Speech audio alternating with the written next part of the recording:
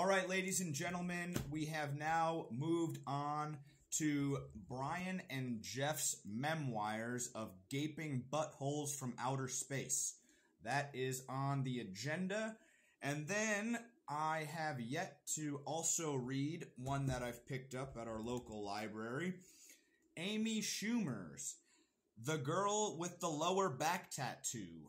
Amy, I am super excited to read this, but you might as well have just called it I'm a Slut with a Tramp Stamp. I think that kind of rings a little bit better, but I mean, I see what you were trying to do, you know, with that one thing during the one time with that one book, but, uh, yeah, I mean, I'm pretty sure. I haven't opened it yet, but I'm pretty sure it's just going to be a bunch of chapters on you blowing a bunch of dudes at various amusement parks.